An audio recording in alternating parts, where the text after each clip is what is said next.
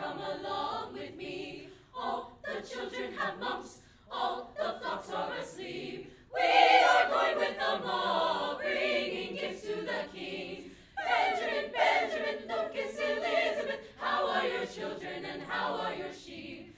Carolyn, Carolyn, Matthew, Veronica, give me your hand, come along with me. Brr, how cold is the night, brr, how see the wind.